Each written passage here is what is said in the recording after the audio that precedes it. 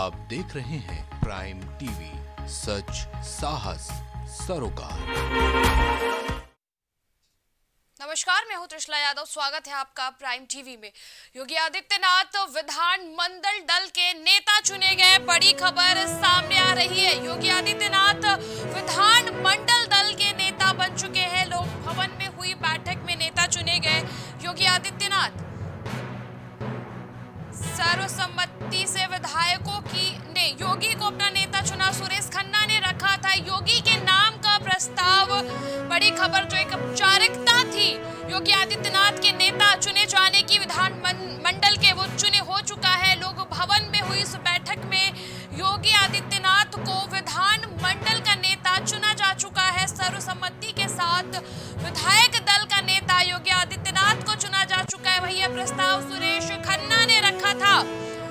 योगी आदित्यनाथ का शपथ ग्रहण समारोह कल है। आज उन्हें विधान मंडल दल का नेता चुना जा चुका है।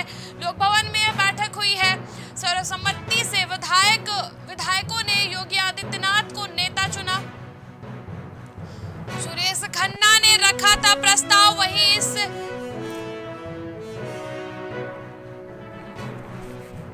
वही इस बैठक में कई बड़े चेहरे भी मौजूद थे। गृह मंत्री अमित शाह के साथ साथ दोनों डिप्टी सीएम भी मौजूद थे। इस बैठक में के अहम फैसले में मुख्यमंत्री योगी आदित्यनाथ को विधान मंडल दल का नेता चुना जा चुका है। अब मुख्यमंत्री योगी आदित्यनाथ के रूप में वो कल शपथ लेंगे। एक ऐतिहासिक जीत का शपथ ग्रहण समारोह कल होगा। दो सौ बहत्तर विधायकों ने अपनी जो सहमति है, वो योगी आदित्यनाथ को दी है और साथ ही साथ जो छोटे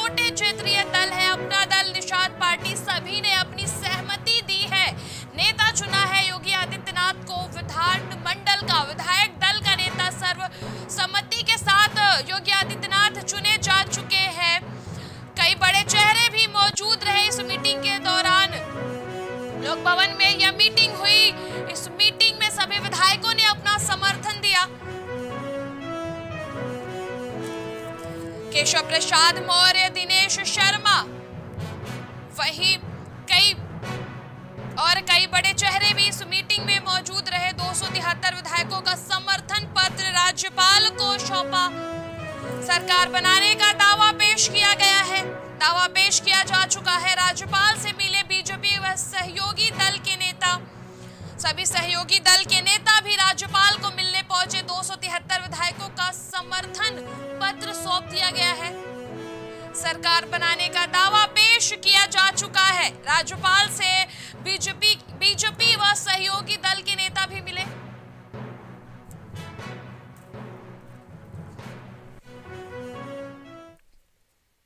योगी सरकार 2.0 का आगाज़ हो चुका है और लगातार दूसरी बार यूपी में बीजेपी की सरकार बनने जा रही है। विधानसभा चुनाव में भारतीय जनता पार्टी को प्रचंड बहुमत मिलने के बाद सैतीस साल बाद प्रदेश में किसी एक दल की सरकार की लगातार दूसरी बार ताजपोशी होगी। बीजेपी कार्यकाल में कोर कमेटी की बैठक के बाद योगी आदित्यनाथ और अमित शाह लोक भवन में हुए विधायक दल की बैठक में शामिल हुए और बैठक में योगी आदित्यनाथ को विधायक विधायक दल का नेता चुना गया है। गृह मंत्री अमित शाह ने योगी आदित्यनाथ के नाम का ऐलान किया। आइए आपको सुनाते हैं विधायक दल की बैठक के बाद योगी आदित्यनाथ और गृह मंत्री अमित शाह ने अपने संबोधन में क्या कहा है।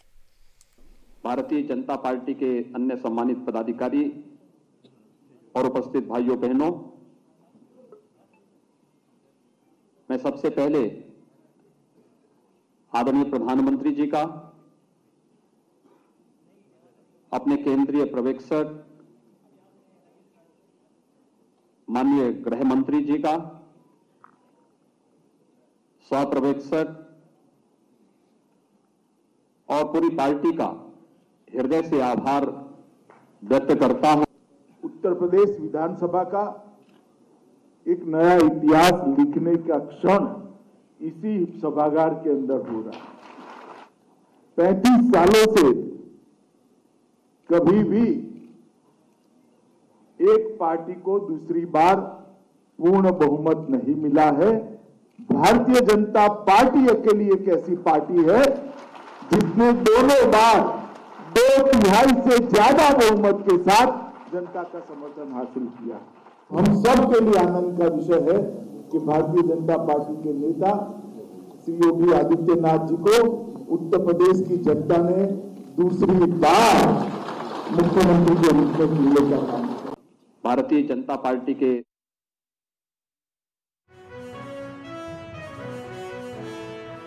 पेश किया गया है। विधानमंडल का नेता चुने जाने के बाद अब सरकार बनाने का दावा पेश किया जा चुका है। राज्यपाल से बीजेपी व सहयोगी दल के नेता मिलने पहुँचे दो सौ तिहत्तर विधायकों का समर्थन पत्र राज्यपाल को सौंपा जा चुका है। सरकार बनाने का दावा भारतीय जनता पार्टी द्वारा पेश किया जा चुका है। राजभवन पहुंचकर यह दावा पेश किया जा चुका है। दो सौ तिहत्तर विधायकों ने अपना समर्थन सौंप दिया है। वहीं कल शपथ ग्रहण समारोह होना है।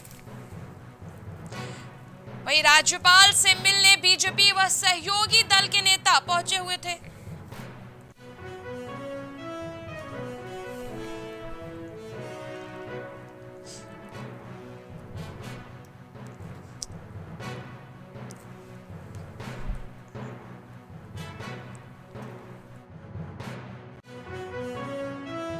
संवाददाता गौरव श्रीवास्तव हमारे साथ जुड़ चुके हैं। गौरव, विधानमंडल का नेता चुना जा चुका है। राज्यपाल के सामने जो दावा है वो पेश किया जा चुका है सरकार बनाने का। आगे क्या कुछ अपडेट है?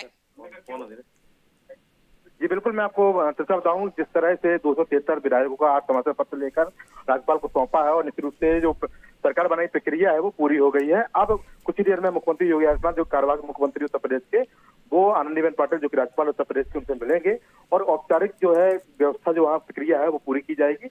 हालाँकि जो भी प्रस्तावक दल था प्रस्तावक दल ने दो सौ तिहत्तर विधायकों का जो, समर्थन पत्र होता है एक जो लिखित होता है और हस्ताक्षर हस्ताक्षरित होता है वो वहाँ पर राज्यपाल को सौंप दिया है और राज्यपाल निश्चित रूप से अब न्यौता देंगी उत्तर प्रदेश के जो कार्यवाहक मुख्यमंत्री योगी आदित्यनाथ को और वहाँ पर जाकर मिलेंगे। उसके बाद कल शपथ कार्यक्रम किया जाएगा। जी जो सहयोगी दल और बीजेपी के नेता पहुँचे हुए थे राज्यपाल से मुलाकात चेहरे शामिल थे, गौरव? देखिए बड़े बड़े चेहरों की बात करें तो जो जो भी, जो अगर प्रस्ताव दल की बात करें तो सुरेश खन्ना थे, जो कि विधानसभा अध्यक्ष थे, इसके अलावा संसदीय कार्य मंत्री थे, इसके अलावा जो आपके नंद गोपाल नंदी थे, अमित शाह थे, और जो तमाम बड़े बड़े नेता रहे भारतीय जनता पार्टी में, वो भी इस कार्यक्रम में गए थे, और राज्यपाल से उन्होंने भेंट की थी, और विधायकों का समर्थन पत्र है राज्यपाल आनंदीबेन पाटिल को सौंप दिया था। अब क्या कुछ प्रक्रिया इसके बाद होनी है? किस तरह से तैयारियाँ और चल रही है इस ऐतिहासिक शपथ ग्रहण समारोह की? निश्चित रूप से तैयारियाँ बहुत भव्य है। मैंने आपको बताया की बाबर की क्षमता वाला एकाना स्टेडियम है वहाँ पर लगभग लगभग सत्तर मेहमान होने की संभावना है। अलग वर्ग से लोग बुलाए गए हैं। जो परिवार आमंत्रित किए गए सबके मुख्य सम्मानी टाटा ग्रुप के भी, उसके अलावा रिलायंस ग्रुप के भी, इसके अलावा लुलू ग्रुप के, यूसुफ अली तो तमाम बड़े जो उद्योगपति हैं वो भी जाएँगे। इसके अलावा प्रत्येक ज़िले से कार्यकर्ता भी पहुँचेंगे, उनको निमंत्रण पत्र भी दिया गया है।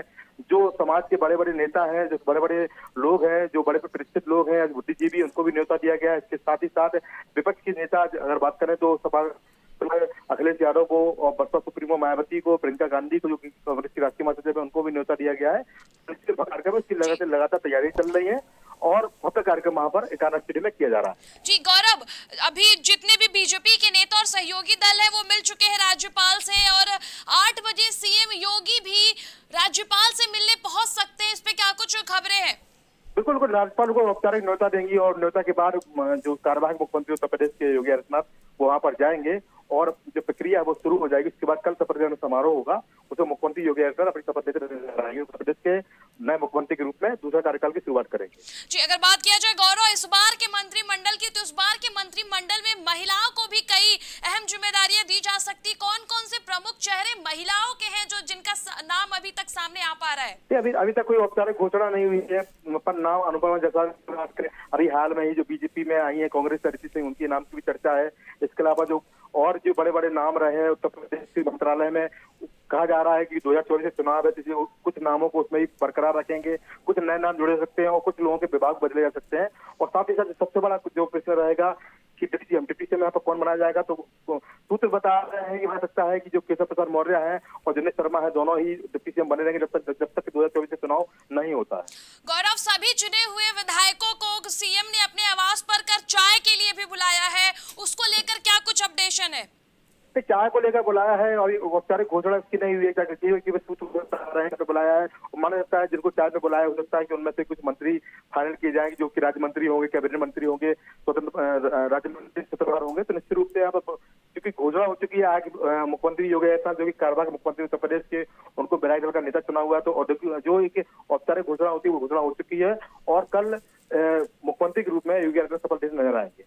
गौरव जो क्षेत्रीय दल है जो छोटे दल है कृष्णा दल एस की बात किया जाए निषाद पार्टी की अपना निषाद पार्टी की बात किया जाए तो इन लोगों ने भी कड़ी मेहनत की है 2022 विधानसभा चुनाव में भारतीय जनता पार्टी के साथ मिलकर।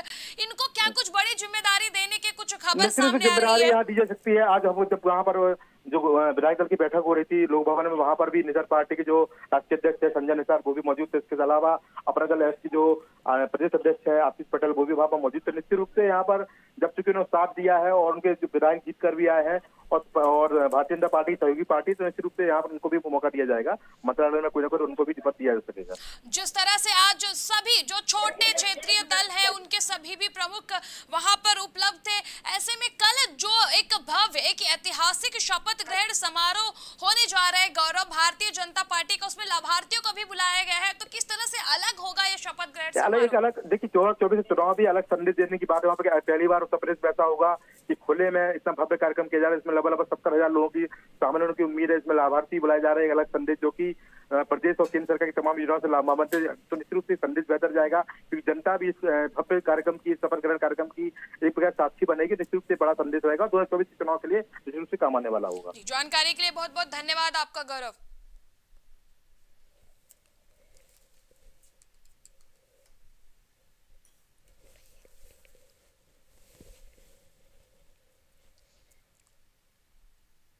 लखनऊ के इकाना स्टेडियम में शपथ ग्रहण समारोह को लेकर तैयारियाँ पूरी हो चुकी हैं। योगी मंत्रिमंडल 2.0 के लिए चेहरे को लेकर अंतिम मोहर लग चुकी है। वहीं शपथ ग्रहण को लेकर पूरे स्टेडियम को दुल्हन की तरह सजाया जा रहा है। देखिए हमारे इस खास रिपोर्ट में।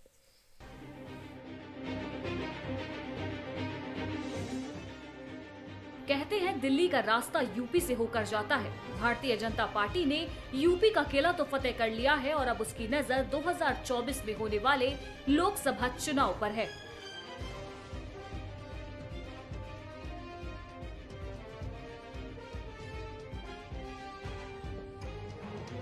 इसी को देखते हुए उत्तर प्रदेश के नए मंत्रिमंडल के गठन की तैयारी को लेकर दिल्ली में खूब मंथन हुआ। सूत्रों की माने तो प्रधानमंत्री नरेंद्र मोदी के सामने योगी मंत्रिमंडल 2.0 में शामिल होने वाले नए चेहरों को लेकर विचार किया गया। ऐसा माना जा रहा है कि योगी की नई टीम में स्वतंत्र देव सिंह, नंद गोपाल नंदी, सूर्य प्रताप शाही, सतीश महाना, ब्रजेश पाठक, रमापति शास्त्री, अपर्णा यादव, अदिति सिंह, दया शंकर सिद्धार्थ सिंह, आशुतोष टंडन और पंकज सिंह शामिल हो सकते हैं। नई टीम में होगा कौन कौन? स्वतंत्र देव सिंह, नंद गोपाल नंदी, सूत्र। सूर्य प्रताप शाही, सतीश महाना, ब्रजेश पाठक। रमापति शास्त्री, अपर्णा यादव, आदिति सिंह। दयाशंकर सिंह, सिद्धार्थनाथ सिंह, आशुतोष टंडन, पंकज सिंह। नए मंत्रिमंडल के लिए भारतीय जनता पार्टी ने 12 राज्यों के मुख्यमंत्रियों को न्योता दिया है। इस सूची में गुजरात के सीएम भूपेंद्र पटेल, हरियाणा के सीएम मनोहर लाल खट्टर मध्य प्रदेश के सीएम शिवराज सिंह चौहान, कर्नाटक के सीएम बसवराज बोम्मई, असम के सीएम हेमंत बिस्वा शर्मा अरुणाचल के सीएम पेमा खांडू, त्रिपुरा के सीएम विप्लव देव, हिमाचल प्रदेश के सीएम जयराम ठाकुर, उत्तराखंड के सीएम पुष्कर सिंह धामी, मणिपुर के सीएम एन बीरेन्द्र सिंह और गोवा के सीएम प्रमोद सावंत शामिल हैं। इसके अलावा इस खास समारोह में शामिल होने के लिए यूपी के कई बड़े उद्योगपतियों को भी आमंत्रित किया गया है। शपथ ग्रहण में देश के करीब करीब सभी बड़े कारोबारी घरानों को शामिल करने का इनविटेशन भेजा गया है।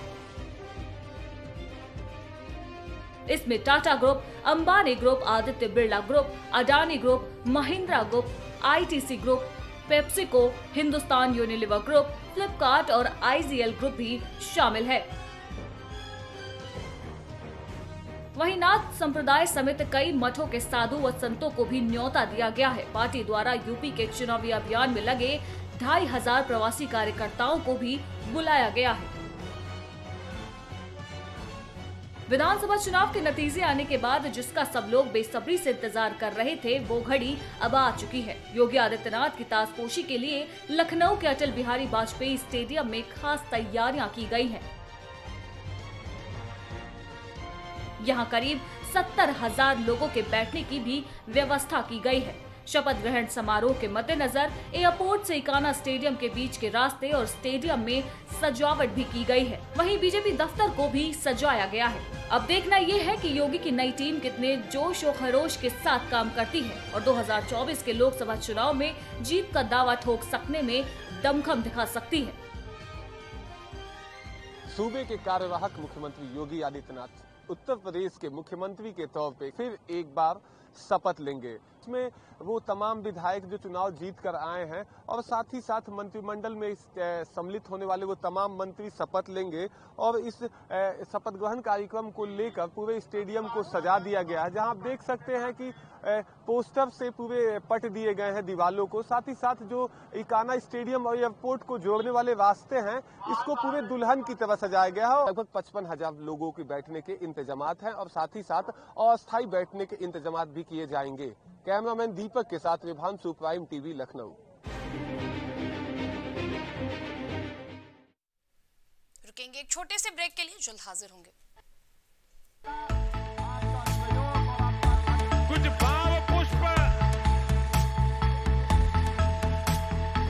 आप देख रहे हैं प्राइम टीवी सच साहस सरोकार।